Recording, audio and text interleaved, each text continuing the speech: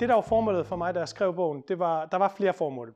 Da jeg voksede op som øh, ung dansk muslim, og da jeg var 15-16 år gammel, så kunne jeg ikke finde noget litteratur på dansk, der omhandlede øh, islam, og der omhandlede det at være ung muslim i Danmark. Nummer to, så har vi masser af islamkritik, både herhjemme og i udlandet, men meget, meget, meget ofte så udspringer kritikken af islam og muslimer altid fra folk, der stiller sig uden for det muslimske fællesskab, og så kritiserer indad og fortæller muslimer, hvad de skal lave om i deres religion, og hvor de ellers skal starte hen. Og det er ikke for at sige, at ikke-muslimer ikke kan og skal kritisere islam og muslimer, men hvis det skal have noget tyngde, og hvis det skal ændre noget på længere sigt, så bliver den kritik nødt til at komme indfra og i en nuanceret form.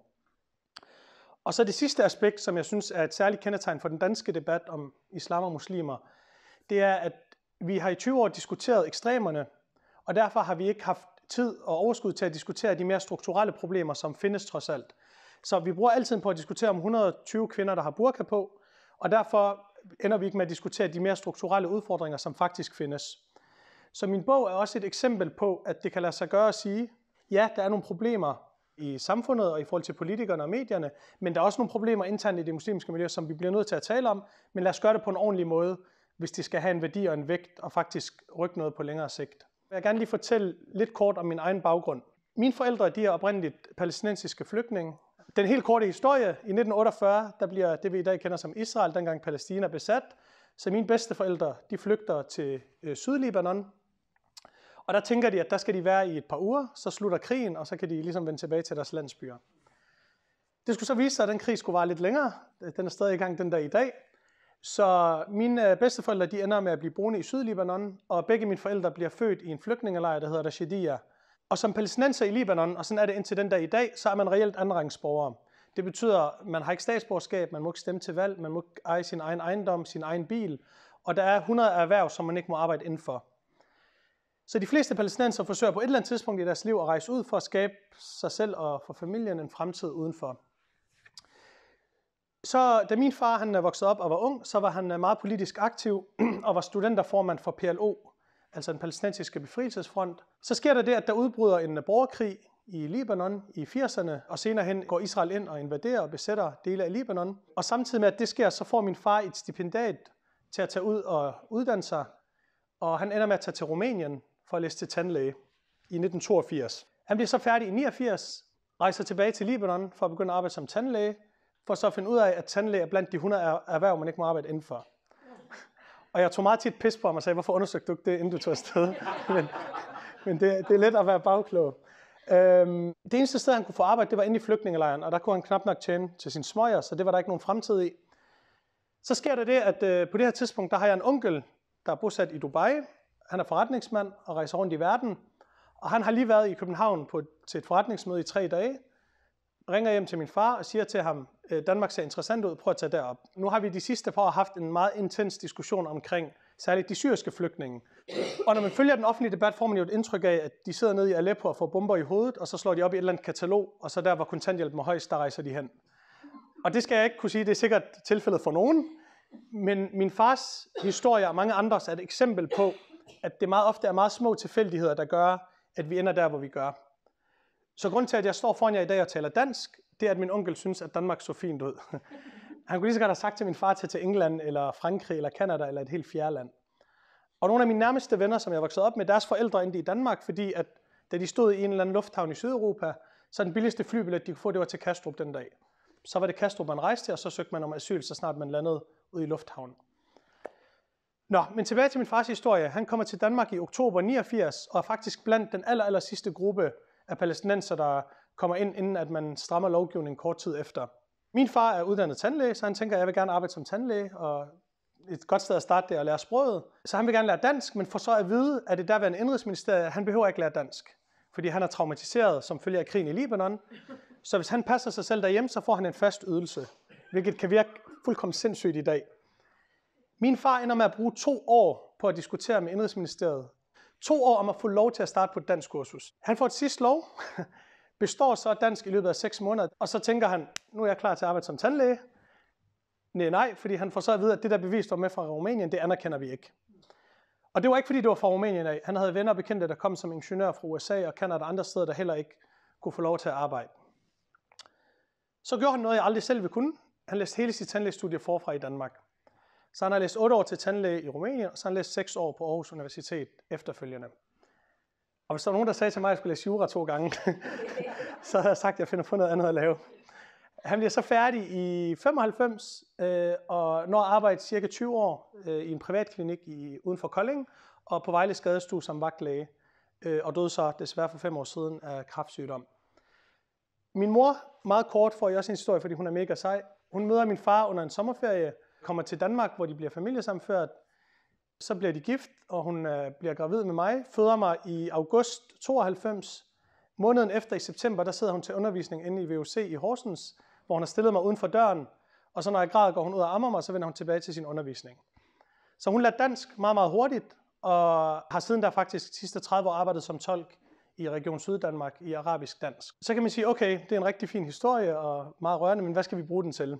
Den her historie er ikke særlig unik eller speciel. Alle mine venner vil kunne fortælle lignende historier, øh, og der er rigtig mange moraler i den, som vi kunne bruge lang tid på at tale om. Den morale, jeg i første omgang vil uddrage, det er, at meget ofte, når vi diskuterer de såkaldte integrationsproblemer, som vi har i dag, så har vi en tendens til at kigge på dem som sådan en isoleret tendens, at som om vi er vågnet op, og så var der lige pludselig integrationsproblemer. En meget vigtig pointe i det, jeg også lige fortalte, det er, grunden til, at jeg kan stå i dag, og at jeg har den jurauddannelse, jeg har, at jeg taler så flot dansk, og jeg kan skrive en bog, det er ikke fordi, at jeg er særlig speciel eller unik. Det er fordi, jeg, noget så simpelt som, at jeg kommer fra et ressourcestærkt hjem, hvor jeg havde et sæt af forældre, der kunne dukke op til forældremøderne, der kunne hjælpe mig med mine lektier, der snakkede flydende dansk og alle de der ting. Det er bare for at sige, sådan, hvor stor øh, en indflydelse den sociale arv faktisk spiller. Jeg kunne godt tænke mig at tage afsæt i sådan særligt en ting, som jeg har kaldt post-2001-generationen. Altså generationen, der voksede op i efterdønningerne af 2001. Hvorfor lige 2001? Jeg har sikkert gættet den ene årsag, nemlig øh, 9-11, angrebene på Twin Towers. Og den anden, det var VKO-flertallet, der kom til magten i november 2001 med Dansk Folkeparti som parlamentarisk grundlag. Min generation er vokset op i efterdønningerne af de to begivenheder, som på godt og ondt, primært ondt, har formet vores syn på os selv, men også vores syn på det omkringliggende samfund. Det har konkret haft tre konsekvenser. Lad mig prøve at illustrere med en historie eller en analogi. Da jeg voksede op, så plejede vi hver sommer at rejse til Libanon, fordi der bor og min mors familie stadigvæk til den dag i dag. Så rejste vi ned og var typisk dernede i halvanden to måneder. Og når vi kom derned, så fik vi altid konsekvent at vide, at vi var ikke araber. Okay? Vi var europæere, og nogle gange fik vi at vide, at vi var tyskere, for de vidste ikke, hvor Danmark lå. Men vi var i hvert fald ikke araber.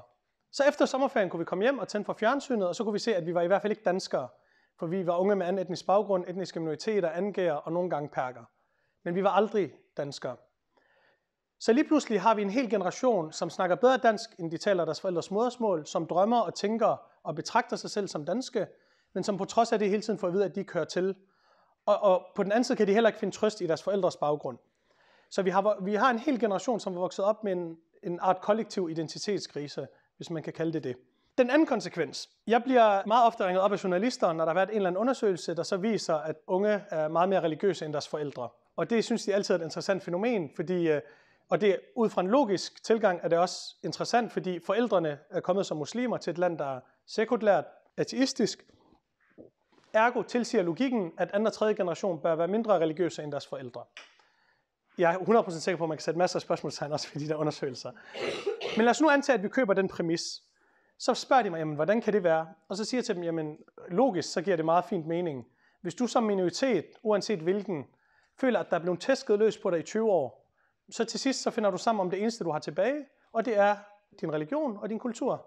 Mere kompliceret er det faktisk i virkeligheden ikke. Og derfor plejer jeg at sige, når jeg mødes med danske politikere, lidt i spøj, men også i alvor, at hvis I virkelig vil have, at de unge skulle blive mindre muslimske, så skulle I lade være med at tale så meget om islam, som I gør. Øh, fordi jeg tror ikke, de har nogen som helst idé om, hvor stor og stærk en markør det bliver for rigtig, rigtig mange unge. Den sidste konsekvens, det er, at min generation er født ind i en defensiv position, hvor vi hele tiden har skulle have paraderne op, og hele tiden har skulle forsvare os selv. Bagsiden af det er, at når der så nogle gange kommer kritik, som faktisk kan være berettet, så afviser vi den, fordi at det er det, vi har vendt os til. Og igen, det er også sådan en iboende frygt, jeg altid har. Hver gang jeg skal lave et eller andet, der kan være kritisk, så er jeg bange for, at dagen efter har Pia Kærsgaard taget det og så sagt, se, selv muslimerne siger jo, at der er problemer her. Så det er også sådan en iboende frygt for, hvordan kan det bruges imod mig og imod min gruppe. Efter angrebene på Twin Towers var der lige pludselig et fokus på islam, der aldrig havde været større. Og det har betydet, at vi har en hel generation, der er vokset op med en opfattelse af berettet, at uanset hvor veluddannede de bliver, eller hvor godt dansk de taler, så vil de altid blive betragtet som muslimer, og intet andet, og ikke som individer, som vi ellers vil gøre med alle mulige andre mennesker. Øh, så af en eller anden årsag bliver vi altid betragtet som værende sådan en form for, for homogen gruppe. Igen, eksempel, konkret eksempel. De sidste par år, der har vi haft et øh, hav af desværre terrorangreb rundt omkring i europæiske hovedsteder, primært begået af terrorgruppen Islamisk Stat. Og hver gang der er et angreb, så bliver jeg ringet op af 30 journalister fra samtlige danske medier, der så spørger mig, øh, Nå Tarik, øh, hvad synes du så om det, der er sket i Paris?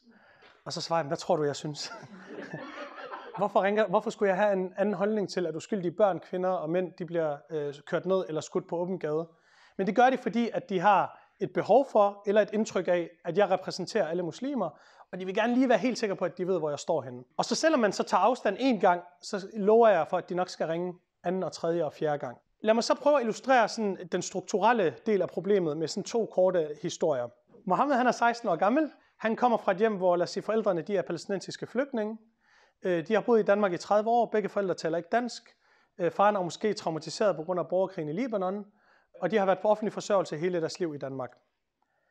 Så en af dagene, der kommer Mohammed gående ud på gaden sammen med sine venner. Mohammeds forældre, de er ikke rigtig i stand til at fortælle Mohammed, hvornår han skal komme hjem om aftenen, eller hjælpe ham med lektierne, eller generelt deltage i hans skoleliv, som man kan sige almindelige forældre vil gøre. Så Mohammed samler en sten op, og så kyler han den igennem den første butiksrude, han ser. Og så kommer hans venner fra blokken hen og giver ham et klap på skulderen og siger, at det er skide godt gået, Mohammed. Så tager vi den anden historie. Det er Brian. Jeg har ikke noget imod folk, der hedder Brian. Det er bare... Brian, han er etnisk dansker, også 16 år gammel, kommer fra et hjem, hvor forældrene de sidste 10 år har været på offentlig forsørgelse uden for arbejdsmarkedet. De har måske et alkoholmisbrug, og på samme måde deltager de heller ikke i Brians skoleliv og hans fritidsliv, og er heller ikke i stand til at sætte grænser for Brian. Så en af dagene kommer Brian også gående ud på gaden, og samler en sten op og kylder den igennem min bilrude. Og hans venner kommer også hen og giver ham et klap på skulderen. Se, umiddelbart så skulle man tro, at der er tale om to sammenlignelige historier med to sæt af forældre, der af forskellige grunde ikke har været i stand til at opdrage og tage vare på deres børn. Den eneste forskel er, at de sidste 20 år, der har vi konsekvent kaldt Mohammeds tilfælde for et integrationsproblem, hvorimod Brians tilfælde har vi kaldt for et socialt problem. Så hver eneste gang, at Mohammed, Tariq, Hassan eller Fatima gør noget idiotisk, så forklarer vi det altid med afsæt i deres kultur og deres religion, og det er sikkert noget, der står på side 280 i Koranen, at han skal voldtage, og gøre dit og dat. Og hver gang Brian gør noget dumt, så forklarer vi det med afsæt i socioøkonomi og psykologi og opvækst og alle mulige andre ting. Og der er min personlige tese, at for 95% tilfælde, så er der tale om sociale problemer. Det betyder ikke, at jeg ikke negligerer, at der findes radikalisering og social kontrol og nogle af de her mere kulturelt betingede udfordringer. Men når vi taler sådan noget som kriminalitet og skolegang og beskæftigelse, så er det alt sammen betinget af sociale faktorer. Der er ikke nogen forældre, der vokser op og ønsker, at deres børn skal ende som bandemedlemmer eller komme ind og sidde i fængslet. Så summa summarum, den største udfordring, vi har øh, haft og fortsat har, det er, at vi mere eller mindre har skabt et modsætningsforhold imellem det, på den ene side at være muslim, og så på den anden side at være dansk og demokrat og aktiv medborger. På den ene side, der har vi den yderste højrefløj herhjemme, bestående af Dansk Folkeparti, Nye Borgerlige, Inger Støjberg og alle mulige andre, som konsekvent prædiker, at det ikke kan lade sig gøre at være muslim og dansker på samme tid. Fordi hvis du er for muslimsk, så er du ikke rigtig dansker. Og i den anden ende af spektret, der har vi de mest radikale islamistiske miljøer, Hizb tahrir kaldet til islam og andre, som prædiker det præcis samme, at du ikke kan være rigtig muslim og dansker på samme tid. Fordi hvis du er for dansk, så er du ikke en rigtig rettroende muslim. Så jeg har altid synes, at det er tragikomisk, at de her to yderfløje, som ellers afskyer hinanden, er enige om, at netop deres udlægning af det at være henholdsvis muslim og dansk, de to ting kan ikke stemme overens. Den kritiske lytter vil så sige, at det er fint nok, men øh, at øh, Ali eller Mohammed, der er med i en eller anden bande, ikke føler sig danske, det må være deres problem. Virkeligheden er så bare desværre, at det ikke kun er dem, der er bandemedlemmer eller der er kriminelle. Den her følelse af øh, fremmedhed og modborgerskab er en, som I finder blandt alle unge, også dem, der er veluddannede. Og altid, når jeg er ude og holde foredrag i Volsmose eller Gellerup eller andre steder, så er der altid en eller anden 16-årig knæk, der rækker hånden op og siger til mig, det er fint nok alt det, der du siger. Nu har jeg lært dansk, jeg er ikke kriminel, jeg er ved at tage en uddannelse, jeg er frivillig fodboldtræner, og alligevel så bliver jeg behandlet som en perker. Så hvad er det, jeg skal gøre mere for at blive en del af os, og for at blive en del af samfundet? Og virkeligheden er, at jeg kan ikke altid svare på det spørgsmål. Altså for at være ærlig med fordi han har ret. Han er ret, jeg kan jo ikke sige til ham, at han skal ændre sin hudfarve eller sit navn. Og selv hvis han gjorde, så vil det ikke hjælpe særlig meget. Uden at gennemgå den store teoretiske gennemgang af diskrimination og hvad det er, så opererer man almindeligvis med to former for diskrimination, indirekte og direkte diskrimination. Den indirekte, og som typisk er den mere strukturelle diskrimination, lad mig give nogle konkrete eksempler, så I kan sætte jer ind i, hvad det betyder. Jeg har en lillebror, der hedder Ahmed. Han arbejdede tidligere med sådan noget telemarketing. Det er sådan nogle pissirriterende typer, der ringer op om aftenen og forsøger at sælge alt muligt lort. Og når han ringede op, så plejer han at tage telefonen og så sige, goddag, du taler med Peter. Fordi hvis han sagde, goddag, du taler med Ahmed, så blev telefonen lagt på med det samme. Og det er velkendt i den der telemarketingbranche. Det gør alle med en etnisk baggrund. Alle, der har et fremmedklingende navn, ændrer navnet, og det får de endda at vide, at deres chefer, fordi ellers så kan du ikke sælge noget. Så er der masser af eksempler af unge, som hvis de har adresse i Mjølnerparken, så skriver de typisk en anden adresse på jobansøgningen, fordi at der er en tendens til, at man så frasorterer de ansøgninger med det samme. Et personligt eksempel. Da jeg flyttede til København for efterhånden fem år siden, så skulle jeg finde et sted at bo. Og det er generelt svært, uanset hvem man er. Så det jeg gjorde, det var, at øh, jeg sad på boligportalen og den blå avis alle de her hjemmesider hele tiden, altså i en måned. Og hver dag, når der dukkede et opslag op, så var jeg altid den første til at gribe telefonen og ringe. Og de plejede at tage telefonen og hilse og snakke, og det var alt sammen fint nok. Men så efter der var gået en måned, så havde jeg været i kontakt med 150 personer, og jeg havde ikke fået noget som helst tilbudt. Og det stussede jeg over, så jeg tænkte, lad mig lige prøve at lave mit eget lille eksperiment. Så jeg begyndte at ringe op til de selv samme udlejere, men i stedet for at sige, at jeg hed Tarek, så sagde jeg, at jeg hed Thomas eller Mathias. Lige pludselig så åbnede dørene sig, og jeg fik tilbudt lejligheder, jeg blev inviteret til åben hus arrangementer, og i et tilfælde, der fik jeg endda tilsendt en lejekontrakt fra en person, der ikke engang havde mødt mig endnu. Så gør jeg det, at jeg dukker op til et omhus arrangement, og som I kan se på mig, så ligner jeg ikke en Thomas eller Mathias, selvom jeg ikke havde skæg dengang. Jeg banker på døren, så er der den her unge fyr, der åbner døren, så kigger han på mig, og så siger jeg til ham, jeg hedder ikke øh, Thomas, men øh, jeg hedder i virkeligheden Tarek, men jeg har gjort det her, fordi 1, 2, 3. Ved hvad han så siger til mig? Så kigger han på mig, og så siger han, øh, Tarek, øh, du virker rigtig, rigtig flink, men jeg tør ikke tage chancen med sådan nogen som jer. Okay? Jeg tør ikke tage chancen med sådan nogen som jer. Og jeg er meget høflig opdraget, øhm, så jeg spurgte ham sådan, undskyld, hvad mener du? Hvad betyder det? Så siger han, jamen jeg ved jo ikke, om du er bandemedlem eller kriminel eller noget, så jeg vil hellere være på den sikre side. Så jeg sagde pænt farvel, og så gik jeg derfra, og endte så med senere hen først at få en lejlighed, men igennem lejerbo, altså alle mine øh, lejligheder, fordi de ikke på samme måde kan diskriminere. Og inden jeg går videre, så forestiller jeg, at jeg, jeg er i det mindste ressourcestærk nok til, at da jeg oplevede det her, så satte jeg mig ned og skrev et meget vredt debatindlæg i politikken, der faktisk endte med at føre til en undersøgelse fra Ankestyrelsen, der viste, at du skulle sende 35% flere ansøgninger til boligmarkedet for at komme i betragtning til en lejlighed. Men det er ikke alle, der har den adgang eller det privilegie at kunne sætte sig ned og skrive et indlæg, eller at kunne få det optaget i en avis. Og det er ikke for at undskylde eller retfærdiggøre noget, men forestil jer at møde den her afvisning hele sin ungdom og hele sit liv, så er det dømt til at gå galt på et eller andet tidspunkt, og det er dømt til, at man reagerer negativt eller aggressivt på et eller andet tidspunkt. Det var den indirekte diskrimination. Så lad os her til sidst tage den mere direkte. Se, det sjove er, at øh, indtil for nylig, så har jeg faktisk aldrig oplevet sådan at blive sådan rigtig diskrimineret ud på gaden. Der var aldrig nogen, der havde råbt noget efter mig eller noget. Jeg bliver altid tilfældigt udvalgt i lufthavnen, men jeg har aldrig sådan oplevet tilråb på gaden. Så sker der det, at jeg sidste år i løbet af tre måneder tre gange oplever at blive antastet på gaden.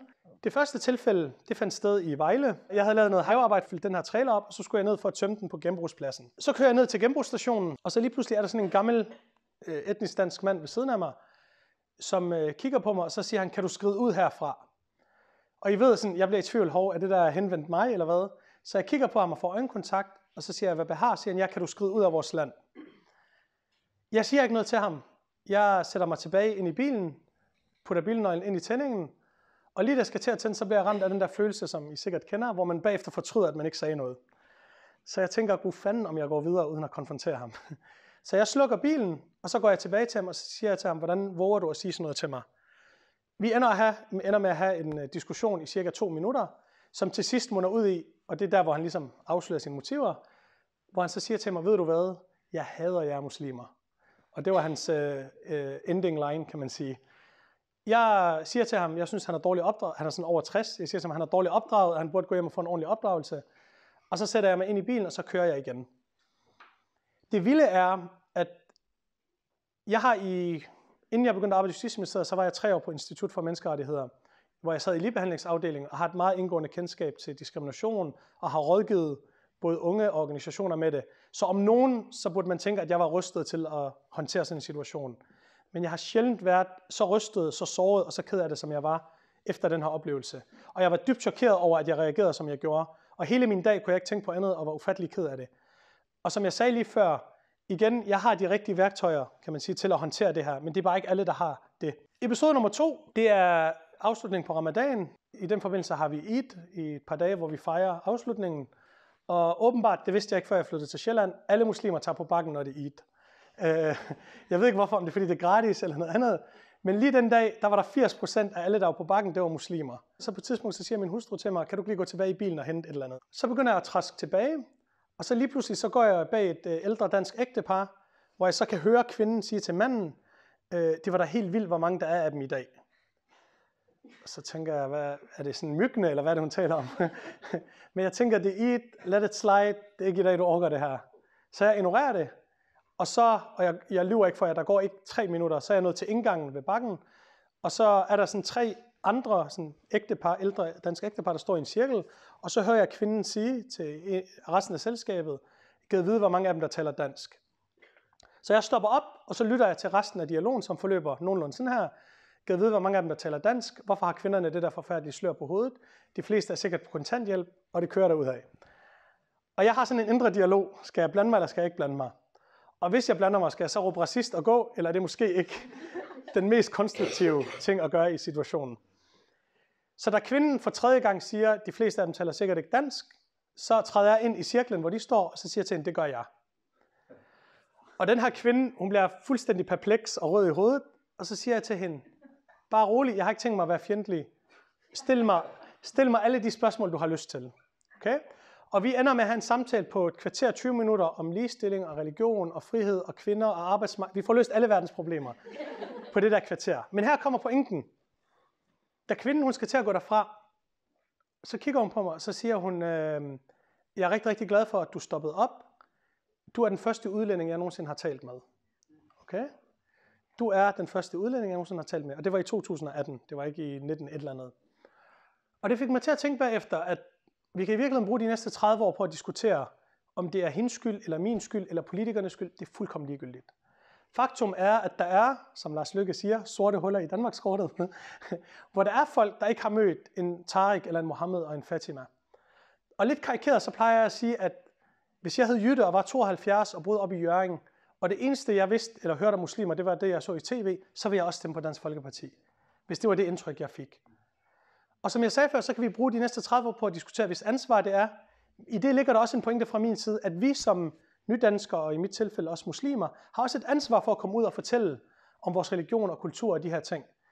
En af konsekvenserne ved, at vi har vendt os til at være i defensiven, som jeg nævnte før, det er, at nogle gange kan vi komme til at forveksle det, der grundlæggende er nysgerrighed med fjendtlighed eller racisme, fordi vi er vant til hele tiden at skulle være i en forsvarsposition.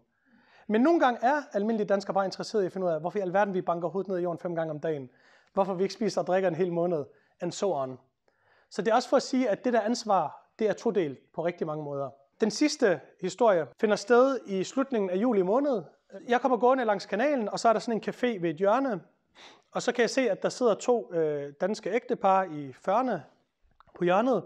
Og da jeg nærmer mig, så begynder manden at lave nogle abelyde, og lave sådan, som om han imiterer arabisk. Og jeg bliver i tvivl, om det er myndet på mig, så jeg kigger sådan bagud, men der er ikke rigtig andre. Så jeg får øjenkontakt med ham, og så begynder han at grine. Og det gør resten af det der selskab også.